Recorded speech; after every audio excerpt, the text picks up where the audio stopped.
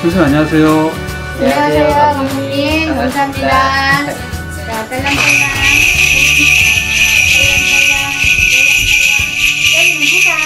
네. 네, 오늘은 이제 사업은 이제 횡재수 대박나는 띠와 나이를 한번 해보려고 하는데요. 제가 먼저 한번 해볼게요. 네. 우선 투키띠 분들 중에서는 어 47세 을묘생 분들이 굉장히 운수가 좋을 것 같아요 하반기에.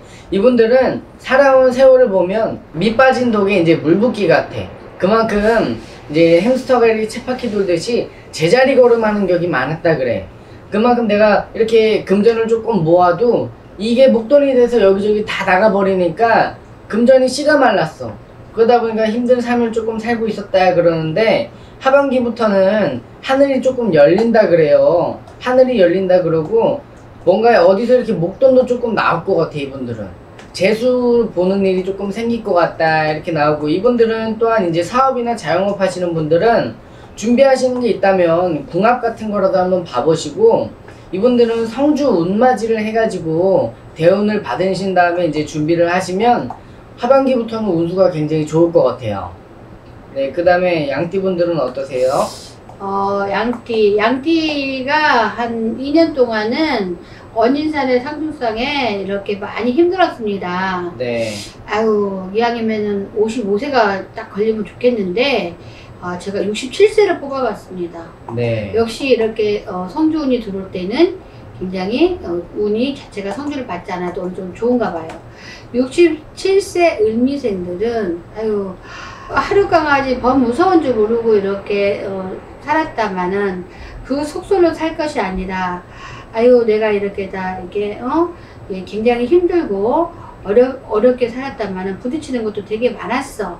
근데 이제부터는 영양가 있는 것이 솔솔 풀리기 시작해서 거한 그 진수 성찬을 받게 생겼으니 집안도 이렇게 더덕더덕 하면은 그래도 어, 허한 마음도 없고 괜찮겠다. 내가 눈물로 씨앗을 진짜 뿌렸다. 이런저런 것 때문에. 근데 그런 것도 하나둘인데 그 상처가 아물 것이고 이렇게 잠자는 강아지를 이렇게 어, 건들면은 어? 그범 무서운 줄 모른다처럼 이렇게 달라 덤, 덤비는 게 아니라 재롱을 팍 떠는 그 강아지가 있다 이거야. 그만큼 내 운수가 어, 대통하려고 이렇게 다 어, 강아지가 재롱도 떨고 하- 한다 이거예요. 그리고 미세한 거는 지금까지 내가 발견하지 못했으나 이게 큰 것만 바라보고 살았으나 앞으로는 어, 작은 것 작은 것부터 하나 둘 이렇게 내가 이렇게 엮어서 가면은 굉장히 생각보다도 강풍이 한번 불어주겠다. 네. 먹고 살게. 네, 감사합니다. 그 다음에 이제 60세 이민생분들 한번 봐드릴게요. 우리 이민생분들도 사주팔자가 굉장히 고단하신 분들이 많아. 근데 이분들은 어, 이 지나온 세월을 보면 내가 이렇게 논에다가 이제 모내기를 하는 격이다 그래. 그만큼 준비하는 단계가 깊어서 어, 이렇게 생- 융통이라든가 이런 게 잘 안 돼가지고 이런 고난 고난이 있었지만 이런 산 넘어 산이다 그래. 근데 그만큼 조금 이런 고비고비도 있었고 그런 게 있어서 삶이 조금 힘들었는데 이제는 조금 지나고 나서 내가 이제 가을 때쯤 가면은 이제 겨울부터 이제 수확하는 시기가 와가지고 길이 열린다 그래 길이 길이 열려서 나를 조금 도와주는 사람도 조금 생길 것 같고 이분들은 또한 무슨 투자를 해두신 게 있는 것 같아 투자 어디다가 근데 그 투자해 놓은 거에서 돈을 조금 벌 수 있겠다 이렇게 나오거든요 이분들은 그래서 하반기부터는 운수 자체가 어 내가 빛으로 가는 이제 길이 열린다 그래 이분들은 제복이 조금 따라 들어올 것 같습니다 네 그 다음에 돼지띠 분들은 어떠세요? 자, 돼지띠는 이렇게 보면은 상반적으로 돼지띠가 올해 운이 그래도 그래도 괜찮았어요. 네 근데 역시나 여기서도 돼지띠가 27살, 어, 성주운이 들어온 27살이 이렇게 좋게 보이는데, 아유, 아까워라 하고 있잖아요. 이렇게, 어, 이렇게 좀, 이렇게 신경을 못 쓰고 이렇게 먹어보지 못하고 막 이런 식으로 발빠르게 살았는데, 어, 아쉬울 것 없이 내가 이렇게, 이렇게 모든 거를 이렇게 또 내가 사로잡게 생겼으니 괜찮다. 그리고 27살이면은 이렇게 빠르면은 어, 장사도 할 수도 있고 장가도 갈 수가 있는데 문서 운이 강하게 들어오다 보니까 쨍하고 해뜰 날이 보이네요 정말 27살이 네. 그래서 어, 예를 들어서 장가 가는 것보다는 문서 잡는 거 집을 산다든지 분양을 받는다든지 이런 것들이 뭉칫돈이 되어주고 그 다음에 내가 사업이나 장사를 하게 되면 은 많은 이들이 나를 알아보고 그래도 펑펑펑펑 이렇게 많이 이렇게 써준다 이거예요 돈을요 그래서 네.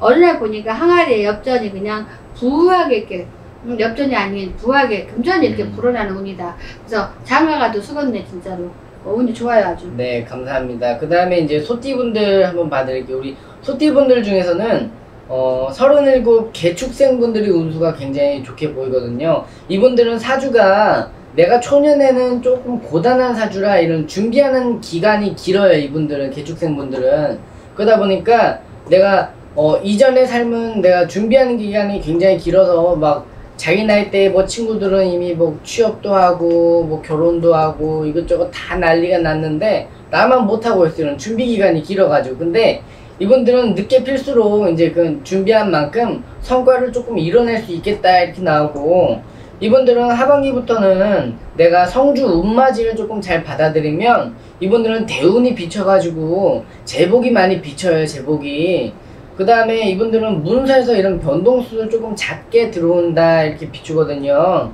문서를 잡으면 올바르게 잡아가지고 그게 잘하면 이제 내가 초년에 어, 성공으로 가는 지름길이 열릴 수도 있다 이렇게 나와요. 굉장히 좋게 나오네요. 다음 분들은 어떠세요? 아 뱀띠.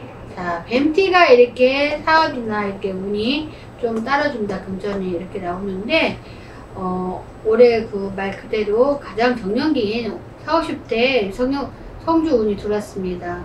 어 그제 제가 이제 성주 운도 이제 상담을 받았었는데 네. 이분들은 빨리빠르게 움직이면 먹을 것을 가득 내가 질 수 있다라고 하고요. 널리고 널린 게 진짜 어, 다 돈이에요. 사실은 운이 이렇게 좋고요. 내가 형편이 좋으면 성준을 좀 받아봤으면은 더 좋겠고 10년 운을 그러나 성준을 받지 않는다 해서 이게 잘못되진 않고요. 계짝이 일단 놓여 있는데 그 계짝에 돈이 지금 살짝 어, 이렇게 잠겨 있어요. 근데 내가 어, 어떻게 하냐에 따라서 이 금전에 돈이 가득 차고 말고 하는데 내가 하나금 진짜 차려면은 10월달쯤 가면은 벌세나 벌세나 벌어 해가지고 10월달부터는 돈이 마구마구 들어가서 어느새 어, 겨울만 돼도 이렇게 어, 돈이 가득 차 있어요. 음, 네, 굉장히 좋네요. 네, 시청자 여러분 시청해주셔서 감사합니다. 감사합니다.